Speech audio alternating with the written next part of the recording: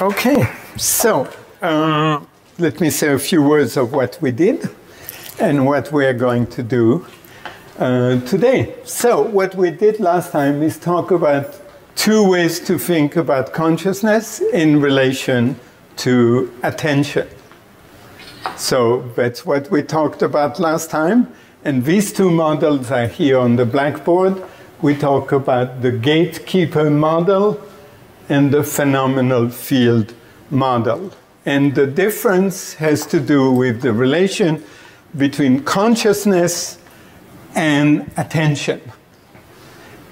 In the view that I called gatekeeper, which is probably the dominant view in cognitive science,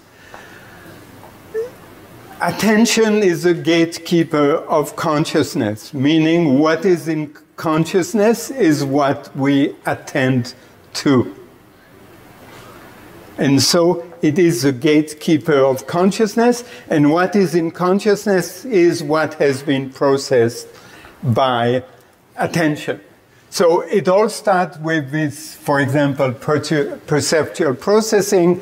I gave the example of sight, in which uh, it all starts uh, with the receptacle in the eyes, and then gradually the different signal from the different receptacle in the eyes get combined to form first shapes and colors separate when they are brought together to form objects. That's what I call perceptual processing.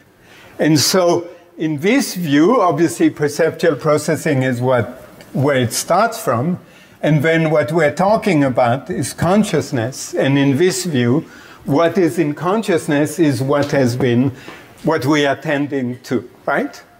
So this is a view which is going to privilege attention, which is going to privilege um, information processing, and this is why it's probably uh, the dominant view in the field of cognitive science, because in cognitive science, a dominant view uh, nowadays is called computationalism, which is the idea that you can understand consciousness as a form of computation, as a form of information processing. So this is one view, and this is not the view I'm going to talk about in this course, but to understand where I'm going to, it's important to keep this in mind. This is why I signed one of this uh, chapter in the in this piece by uh, what's his name? Andy Clark. Andy Clark, yeah. And that gives you an idea of how people think about consciousness from a cognitivistic perspective, in which consciousness is just a form of information processing. Okay?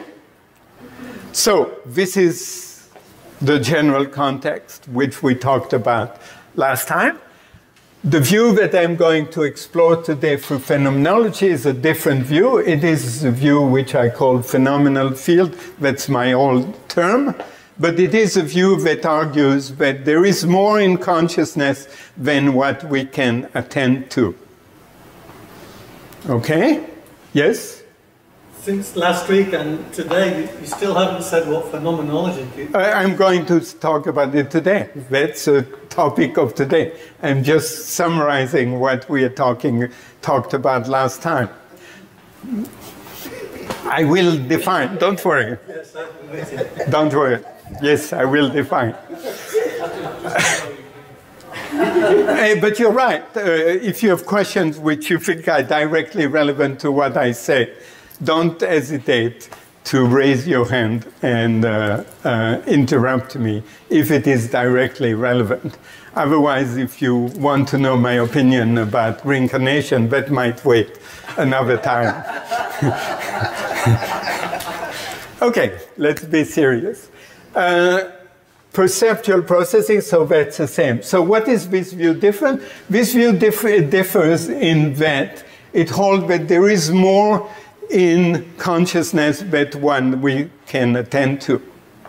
For example, uh, here is a question How rich is our perceptual field? Mm, okay. How rich is our perceptual field? Well, people dif differ on this question. My own opinion is that our perceptual field is actually quite rich, though what is actually processed in detail by cognition at every moment is actually quite narrow. People talk about like this, I don't know exactly how broad it is. So this is an example, I think, where uh, I think there is a good argument to make that actually there is more in consciousness than what we can attend to directly. The other example that I gave. Can I do that one? Little Venn diagram? Okay, okay.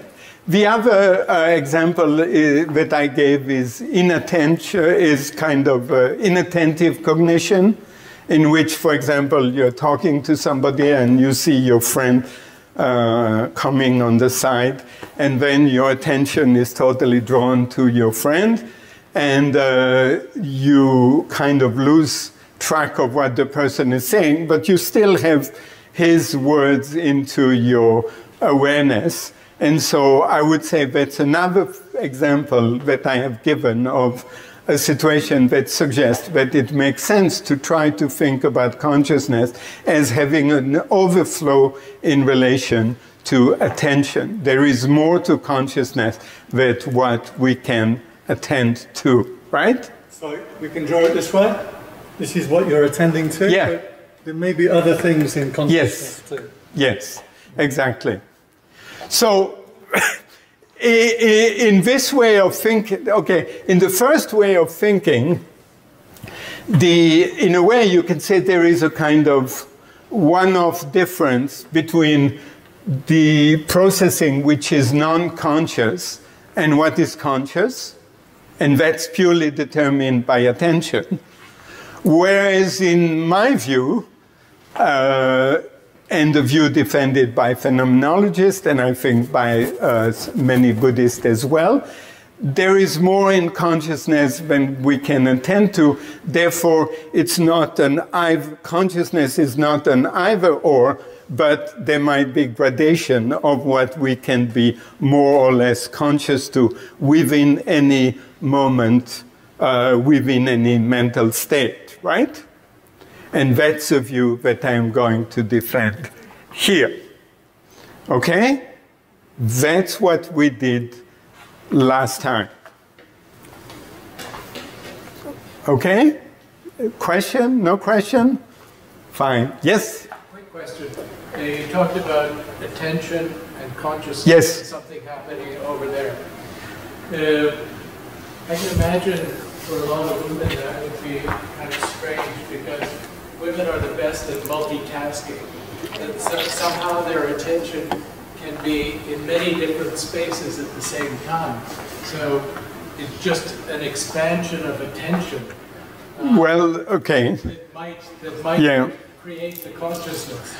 Okay, uh, I simplified a little bit um, my own view. Now, let me say the evidence, and I think it's for both men and women, uh, coming from psychology is that we're extremely poor at multitasking. Now, so, okay. so, uh, but you're right. There is a question, the interesting question, that in this model here, uh, is it the case that there is just what is in attention and what's not in attention? Or is it a question of degree of attention, right? Because if you think of attention as a processing that the brain is doing towards the input coming from example from the senses, it makes sense to think about slightly differently in terms of what's in the foreground and what's in the background.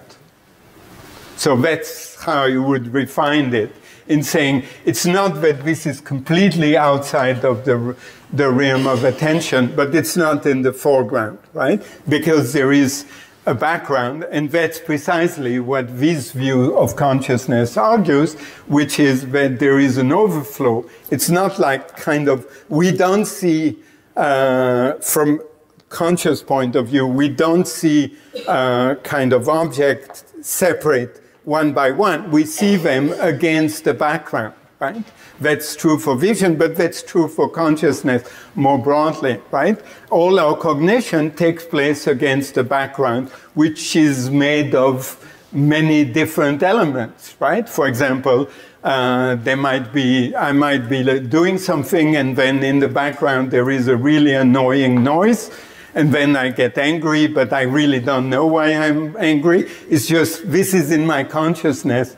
And so what we're talking about is the structuring between background and foreground. So that's indeed what this view uh, would be committed to.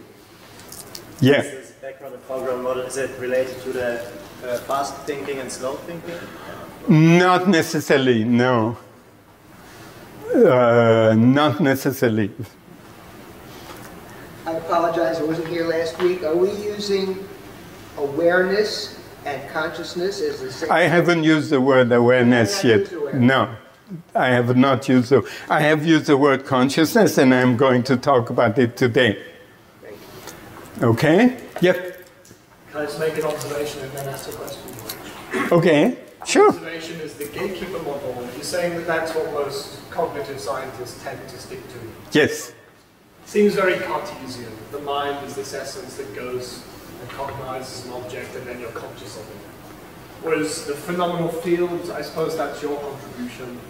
Well, the term is mine, but this is what phenomenal is, is not yours, or is it? What? Is the phenomenal field model, is it your sort of no, it's, it's my word for what phenomenologists and I think many uh, Buddhists, for example, I don't know, in Yogacara and uh, in kind of Nyingma and Kagyu uh, tradition, think about consciousness. So it's, yeah. So my, yeah, so my question then is that phenomenal field view of consciousness, cognition, does seem very Buddhist. I mean, have phenomenologists got that from Buddhism or no. arrived at it independently? Totally independently. So this is Descartes versus the Buddha? No, it's not Descartes, it's Husserl's and Merleau-Ponty versus the Buddha, yes. Well, the Buddha, I don't know, maybe Asanga, Vasubandhu, and Dharmakirti. I mean, yeah. As, as far as I know, there is no connection whatsoever. Yeah, okay. Yeah, I mean, you have people like William James, is one of the old uh, ancestor of this kind of way of thinking about consciousness, not this model, but about consciousness in general. And then you have a whole school which try to use introspection, and then you have phenomenology, and that's where I'm taking, and I will define phenomenology. Don't worry.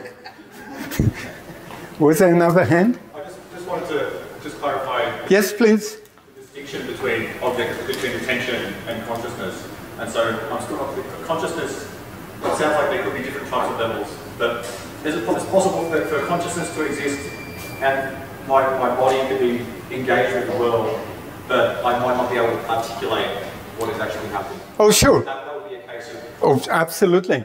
Yes. In fact, this model is going to play a very emph strong emphasis on what we could call the pre-reflective level of experience, and we'll come to that, but absolutely. Okay, uh, so now if we take this model, uh, how are we going to understand consciousness? Well, that's where I will claim that we can use phenomenology and Buddhism kind of, they have more or less the same, some of the same insights to build a fairly, give us a relatively clear description of consciousness. Now, I emphasize the word description. Okay? So, phenomenology is a description of consciousness. It's not an explanation. Okay? What's the difference? The difference is that an explanation, typically, it's done in terms of causes producing certain effects. So, for example, when you try to explain consciousness through brain science, you are doing explanation. Now, you would say, why don't you do this? Well, this is not what I do. And as I said last time, uh, brain science is very far away from being able to really give us a good account of consciousness, a good explanation of consciousness. So, what some people, like myself and others, are doing is try to think about consciousness in kind of two ways. One is what I would call it from the first person perspective, and the other is from the third person perspective. What's a first person perspective? Well, that's going to be the domain of phenomenology, which is going to be a description of experience. It's a description of my experience. Okay? and that's what phenomenology is going to provide a description of experience, or otherwise put, a description what what is given in experience. Okay? That's what I call the first person perspective, right?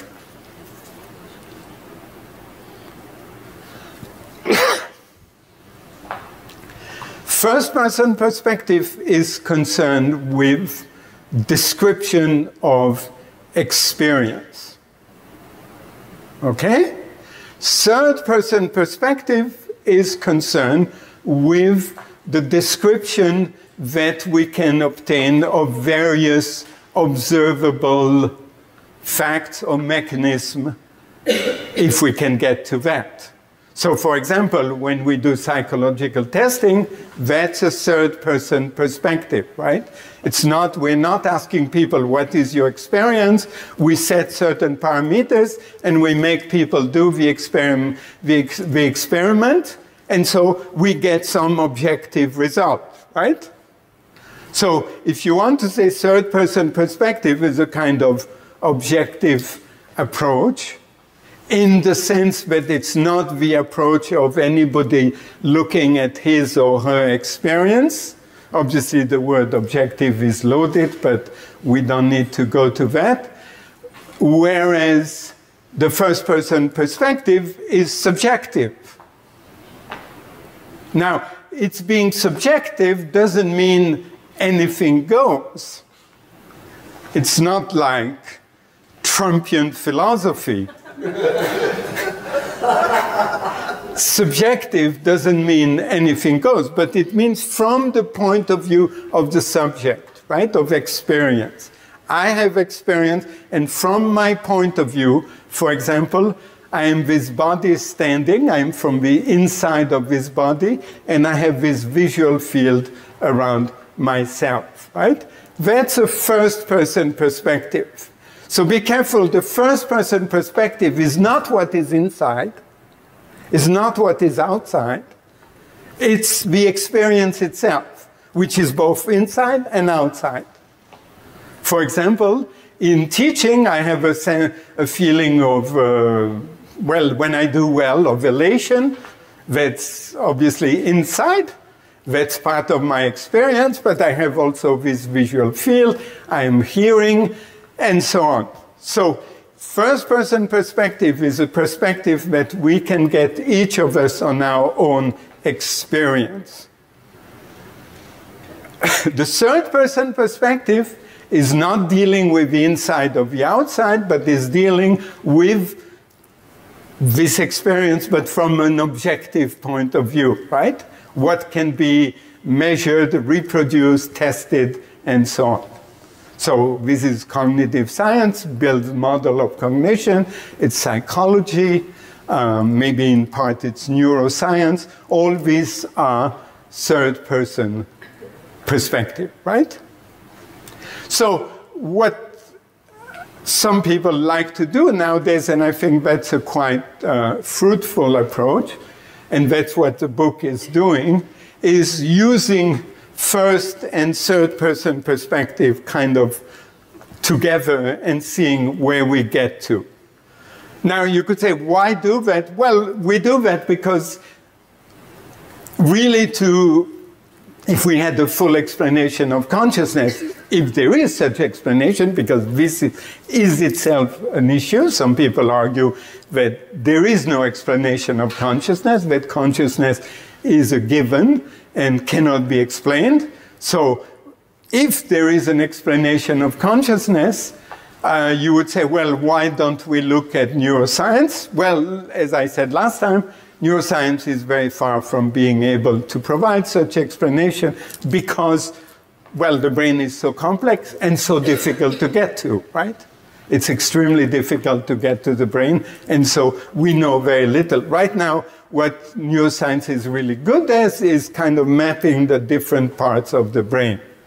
And that's basically where it is at. And they produce this wonderful, color, colorful picture, which are I mean, very nice pictures, and they tell us certainly something, but they don't give an explanation of what consciousness is. So when you hear, when you read or hear a title like "Scientists Explain Consciousness," well, think, realize that this is kind of journalism. Uh, well, let's not be impolite, but a shortcut to say this person has something to say about consciousness because, in fact, well, we don't want to go a Trumpian way and trash the press, right? I mean, journalists do a useful job because they filter a lot of information for us, but it's also the case that often they know very little about what they have to talk about a lot of things and often they don't know very much.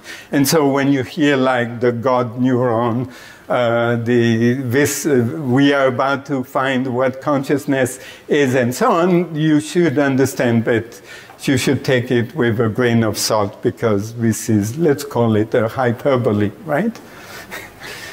Okay so here we is this a hand no. No, it's not there. Laziness. that's fine, that's fine. Uh, so, what we are interested is thinking about how to relate first and third person perspective. And this is basically what this book is doing. This book is talking about phenomenology, meaning a description of experience, of what is given in experience, in relation to cognitive science, psychology, a little bit of neuroscience, and this is basically, uh, I think, one of the interesting and probably most fruitful way to talk about consciousness, especially from a Buddhist perspective. Okay. So, we are going to do today phenomenology. We are going to cover a lot of ground because we're going to talk about Husserl and we're going to talk about Merleau-Ponty. And hopefully, uh, we will start to make sense of this term consciousness understood as being this kind of model. Okay, so first person perspective is a description of experience, right? Okay?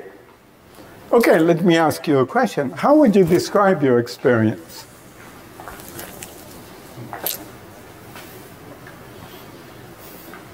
By example? The- the- examples or just We, we have experience now.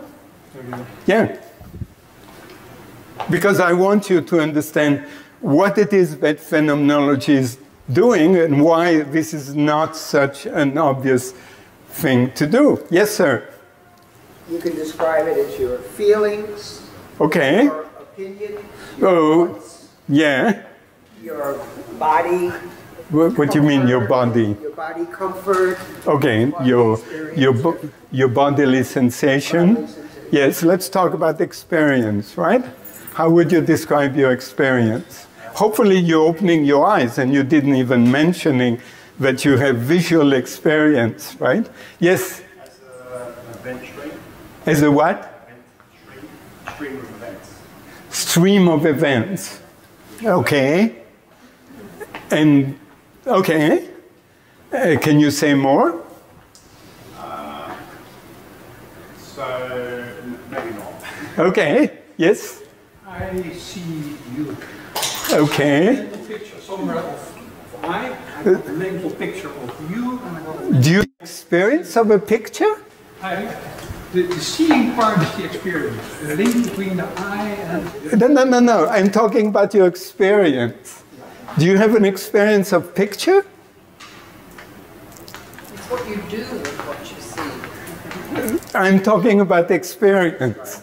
Because what you're doing actually is talking about your experience, about what you think your experience is based on, two, which is often what we do, right? I think I could describe uh, relating to the senses. Okay. So feeling the cool air conditioning. Uh, So this is bodily sensation. Exactly. Yes. And who is feeling all this I? Okay. So the sense of, of there being a place where From- experience is processed. Okay. That's what it seems That's not an experience. You're not experienced processing. Yeah, where experience is. Yeah, that's right. But I think what you maybe mean is that we have, so let me put it from a Buddhist point of view. We have six types of experience through this five bodily senses of mind. And they come in different types of quality. Okay. And I'd say the, the mental part of that is this stream of verbalization. That's part of your experience. But the, what is your experience right now? It's all of that Okay. around. Well, it's appearance. What's that? It's appearances. It's like things appear. Okay. Stage of that which knows. Okay. Eh, no, none of this eh, is necessarily right or wrong. Uh, the point I want to make is, uh, in a way, twofold. But the first point is that description of experience is far from obvious. Okay? Because in a way, we could go Virginia Woolf or Proust way, right? describe every little detail of one's own experience. And that would be a, de- a description of experience, right?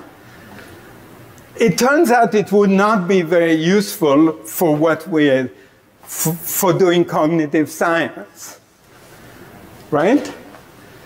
So, description of experience is complicated matter. And so, what phenomenology is trying to do is provide features of experience, trying to look for features of experience that are of a general import. Because the particular feelings that you have in your body is not going to tell us a whole lot about consciousness as such. So, what we are going to go for is for general features of experience, what I call putative candidates for invariant features of cognition.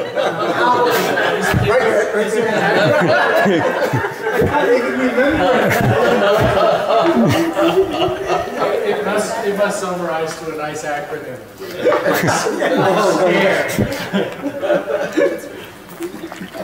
putative candidates for invariant features. How do you spell putative? P U T A T A. A. A. Puta T I V E candidates for invariant features of experience rather than co- Invariant. features or for invariants. The ant or ant? A N T S for invariance of experience. Okay? Let me explain.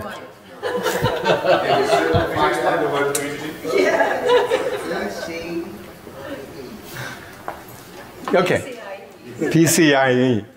I hate this abbreviation because I always forget what they are for, but anyway. So let me explain this and then you may have a question.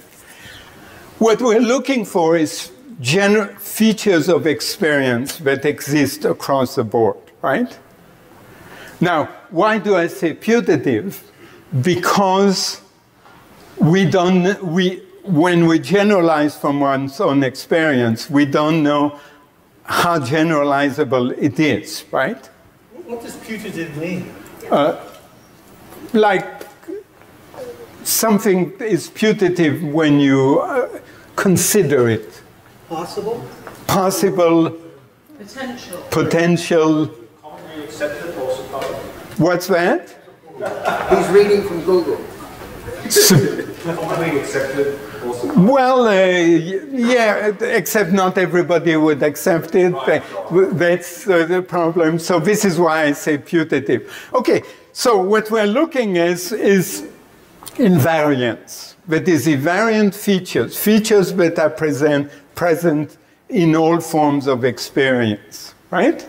Because why we want that? Because we want that because we want a description of consciousness that is as general as possible. Because the Virginia Woolf way is not going to help us to do cognitive science. What we need is this kind of very generalizable features, and then we can start to think about how they uh, might be implemented from a third person perspective, right? So that's what we're going to do. Now, let me say uh, a few words about a few more words about phenomenology. So, phenomenology, please write, was started by Husserl, who was a Started student by Brentano. who was a student of Brentano. So if you want to put Brentano, I am perfectly comfortable with that. Absolutely, that's okay.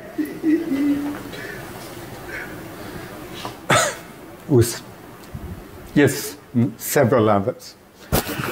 So Hus will mostly talk about Husserl, but uh, it certainly starts with Brentano. Uh, and we'll talk about Brentano when we talk about uh, uh, intentionality. So Husserl is probably thought to be the main person in the phenomenological tradition. His work can be divided in several stages. So today what I will deal with is what is called static phenomenology. And next time we'll talk about dynamic phenomenology, which is time consciousness of how consciousness unfolds in time, which is something really cool, which is really important to, for cognitive science nowadays. So today we are doing static phenomenology. Now, let me emphasize that what I'm doing and what this book is doing is quite different in a way than what Husserl was doing. Because Husserl was not just busy trying to provide a description of subjectivity, which is what this book and what I'm trying to do. He really wanted to provide a complete system which would be the foundation for all possible human knowledge because he thought all possible human knowledge is based on human experience. Therefore, we should be able to provide the foundation for all knowledge. And so, what, how Husserl calls his phenomenology is transcendental, meaning it's looking for the condition of the possibility of experience. This is not what we are going to do here. And this is why it's really difficult to read Husserl, because Husserl's project is much broader and it's extremely complex. Uh, this is not what we're doing here. What we are doing here is not doing transcendental philosophy per se, but we're doing a little bit some a weaker version of that by looking at the putative candidates for invariance of experience, right? meaning we are looking for very general features of experience and then hopefully this give us a good sense of what a good description of what consciousness is explanation yet to come in the future PK is common denominators. what's that PK pki is common denominators. yeah if you want it's featured present in all, all or most experience. Putative because we don't want to go too fast, right? Do you still have a question? Yeah, it's not very relevant right now. Okay, so, okay, so what are the features of experience that Husserl talks about? Well, there are several. The first one is intentionality.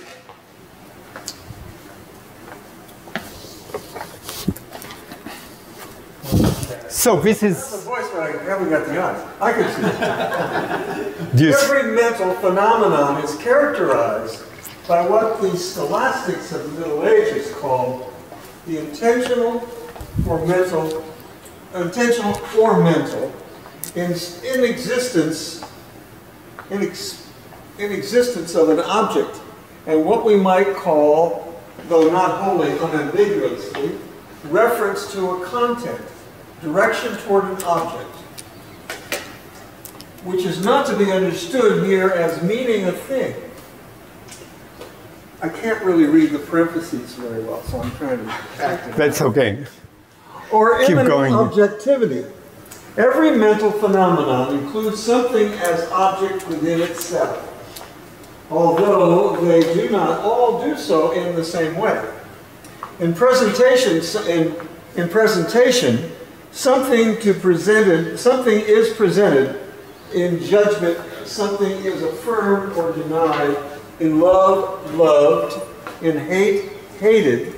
In desire, desired, and so on. This intentional in existence is characteristic exclusively of mental phenomena. No physical phenomenon exhibits anything like it. We can therefore define mental phenomena by saying that they, that they are those phenomena which contain an object intentionally within themselves. Okay, thank you. So, this is intentionality. This is the locus classicus of this notion of intentionality, which goes back to Brentano. And the word obviously is extreme, is in a way extremely misleading, but is appropriate. It's misleading because the word suggests that we are talking about intention, right? As I intend, volition, will, and so on. No, we're not talking about that. Intentionality comes from the word intention, and the intention of the term is the meaning of that term. So, intentionality is refers to meaning, not to human intention, not to volition. Okay? So, often people think, as Brent, Can we give like an example? I am going to give example. Okay? So, reference to an object, okay, that's true, but that has to be understood properly, and it's actually tricky to use the word object. Here is the example. Uh, my vision of a pink elephant. Okay? What's the object? What's that? Pink elephant. Okay. Everybody agrees? Your vision. What? Your vision. No, no, no, no. Reference to an object. Not in your image. The image that you see in your mind.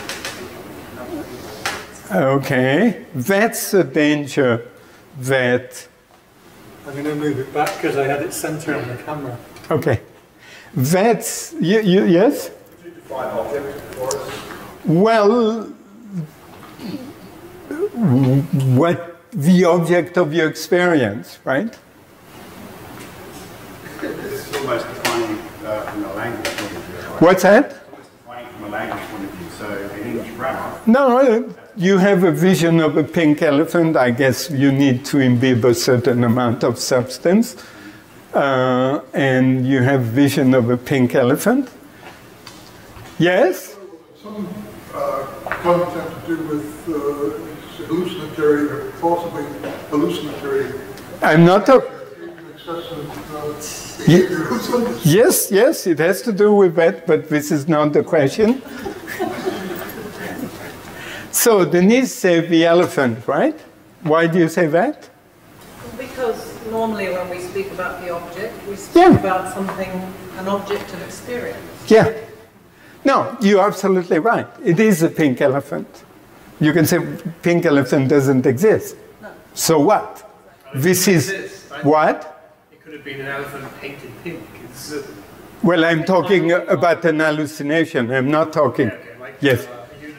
Yes. I'm talking about an hallucination because it creates an interesting problem, which suggests that when Brentano is talking about an object, we have to be careful and precisely not go to an image because the object of our experience, this is the first person perspective, is the pink elephant.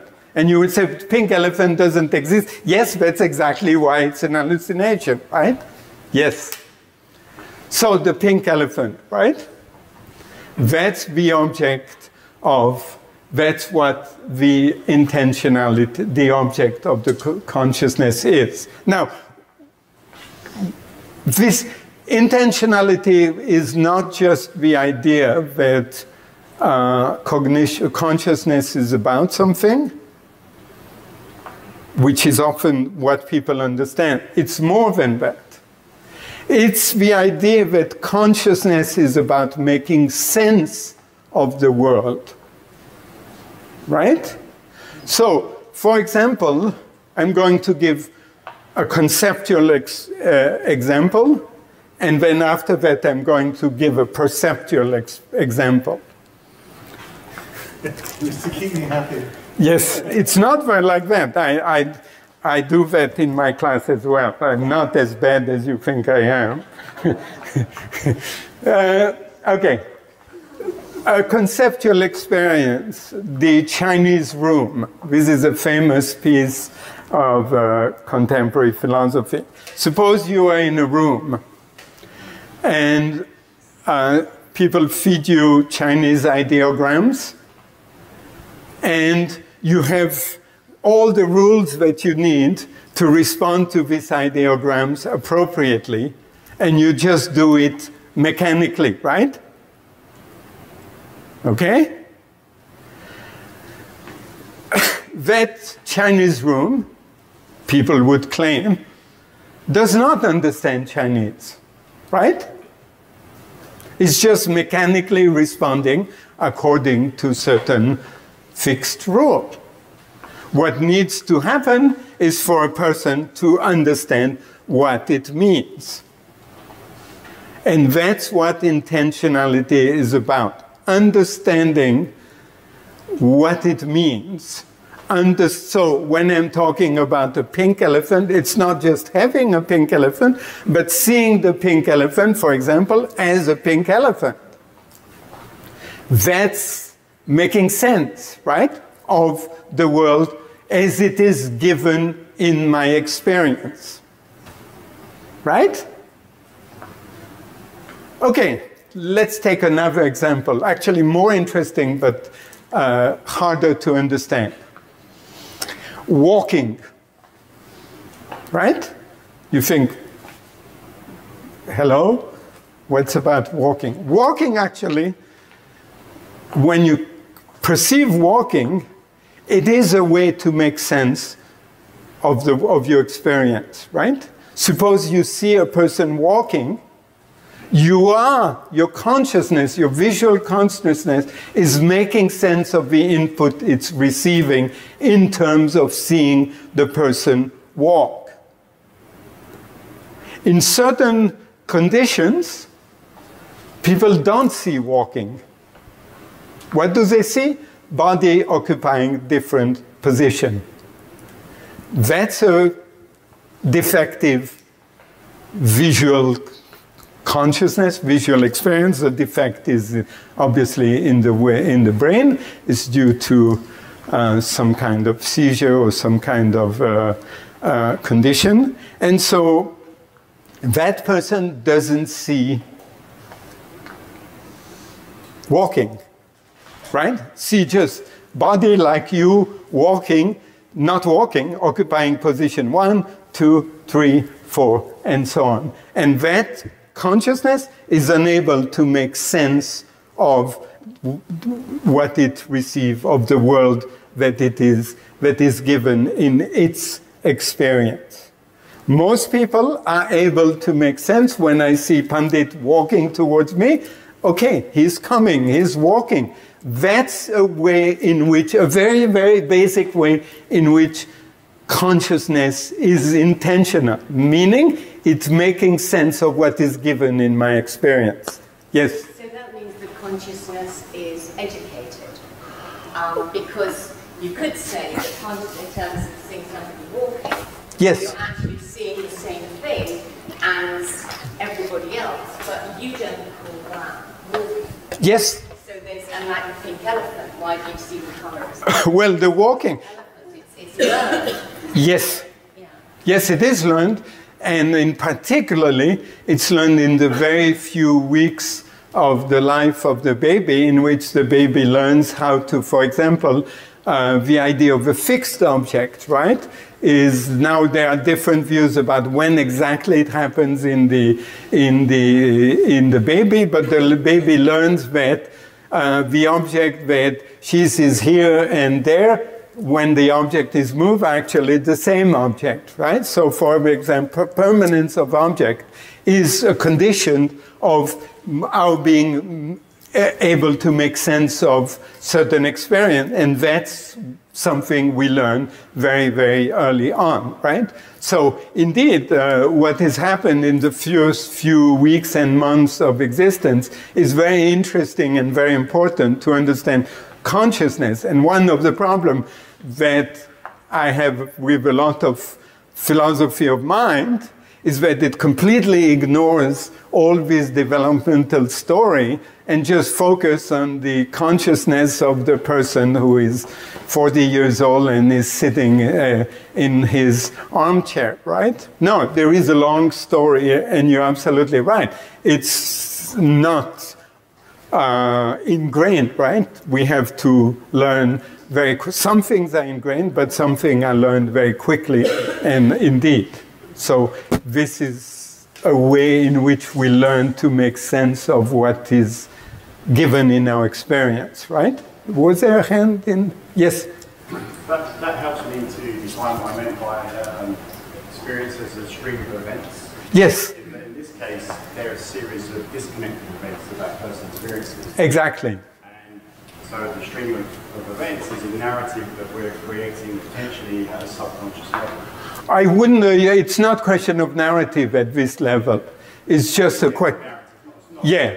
Yeah, I would not use the word narrative, and people overuse the word narrative. Here is not a question of narrativity, right? It's a question of just learning how that there is a single object which is moving across space and so on. Exactly. What? Yeah, it's like putting together, right? Yeah. Related to that, there's this uh, model of mind, uh, like uh, the mo mind model, mind moments model. Yes. And I was wondering how it relates to this second model of consciousness, because the background and the foreground are they same same moment? Yes. Yes. I would say in any single moment of consciousness, uh, there is a background and a foreground, right? Yeah. That's the idea, at least that's the hypothesis that we're exploring, right? Yes, please. Um, does intentionality only include, only encompass processes that we're not consciously aware of? Like when we see someone walking, we interpret that as walking, but we don't think about the fact that we're interpreting that as walking, right? Well, it's conscious. It's conscious, but we don't, like it's not an active, I guess it's not an active process of interpretation. No. Consciously But could it also include processes where we're trying to interpret something? Sure. But here is what I think phenomenology insists, and I think rightly so, and in that it's pretty much in agreement uh, with a lot of Indian views about the mind, which is uh, we want to move away from this Western idea that identify consciousness with thinking. We both phenomenology and Indian philosophy of mind are of one voice of saying, no, consciousness is not limited to thinking. There is a pre reflective level of experience which is, in a way, what we, we are talking about. This is why I gave you two, two kind of example, because the first example of the Chinese room is an example of an explicit interpretation, right? We understand only when we're able to interpret the sign. Okay, that's an example of intentionality, but it would be a real problem to understand consciousness, and this is what a lot of people do. Uh, if we identified consciousness with thinking, and in Indian philosophy, there is the uh, idea that what is primary is not thinking or is not uh, anumana, inference, but is pratyaksha, perception. And I think, similar to that, I think uh, a, a, lot of phenomenology want to insist that uh, our experience starts at the pre reflective level, right? And understanding somebody as walking is a way pre-reflective because we don't make any kind of explicit interpretation, but we are perfectly conscious of that, right? Yeah. So the infant, who hasn't really learned much yet, lacks intentionality. Well, no, there is always a certain level of intentionality, but uh, it's obviously developing, right? Well, so I don't know what the the infant is always able to make sense to a very lim- we're always to able to make sense to a very limited extent of our experience, right? So even if infant lacks object permanence. Yeah, doesn't mean that he lacks any cognitive ability. Right. Yeah. So the infant that hasn't learned much yet, that's learning to learn, has consciousness without intentionality. No, he has intentionality, but much more limited. What he is able uh, to make sense of is much more limited than uh, uh, an older child, right? But their, their pure experience is probably much more vibrant. Yes, yes, yes. I mean, they say that even babies in the womb learn when they hear music, things like that. It's a very fundamental level. Yes, though this is right from the earliest time. Yes. Picking up information. Yes, though this is pretty controversial how much is really happening in the womb and not. But yes, absolutely, absolutely. So is consciousness necessary for uh, intentionality? Intentionality is maybe a necessary, it's a putative candidate for invariance of experience. Okay? Now, yeah? There can also be intentionality without consciousness. For example, like blindsight uh, patients, they can still make sense of what they're seeing without being conscious of it. Well, uh, we talked about blindsight, uh, and it's not sure what's going on with blindsight. Remember, blindsight is this condition in which people uh, claim to be blind, and in a certain way are blind, but are able to navigate in the world and are able to make guess about large objects, right? And another example of that was a guy I met who couldn't move his left arm deliberately, consciously. Yes. But if a fly landed on his face, he could swat the fly. Okay, yes. But if you say, touch the cup, he'd say, no, I can't move my Yes, exactly.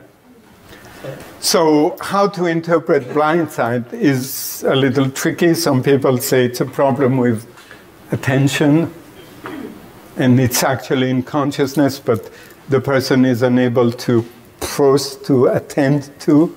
So, this is controversial. Unilateral neglect? Or is it What? Hemi neglect? Yes, similar. The hemi neglect is even weirder because the person actually sees that left side, right? Which he claims not being able to see. He just want to cram everything on the right side, right? Okay, so this is the most important feature of consciousness from Husserl's perspective intentionality. As you can see, these are very general features. Uh, they are not the kind of thing that you expect uh, uh, as invariant feature, but This is precisely what we want, something which is so general that it can be uh, kind of read across many, many different experiences. Uh, it's, for example, it's not without interest for me to think whether in from a Buddhist perspective, whether in objectless meditation there is intentionality or not, right? There is no object, there is no making sense, at least in the experience itself. So I have real qualms. Uh, this is why I always like this putative. But as you can see, this is a really pretty uh, special experience. Most other experiences uh, seem to have this feature of intentionality. Yes? Sorry, can I just ask, um, in objectless meditation, isn't there some uh, sense in which the objectless meditation is the object? I mean, in other words, you, yeah. you decide how to do objectless meditation, and you have some sort of sense that that's what you're doing. Is, it, is that true? I would say probably not, but uh, this is debated inside the Buddhist tradition as well. Uh, my sense is no. I would say uh, the, the description of objectless meditation comes from the borderline state, when you just get out of the state and you just think back where you were. But this is kind of very debatable. So I'm just putting here, this as a kind of interesting question, which I'm not sure myself. Yes? Just a quick quote from the book. Yes?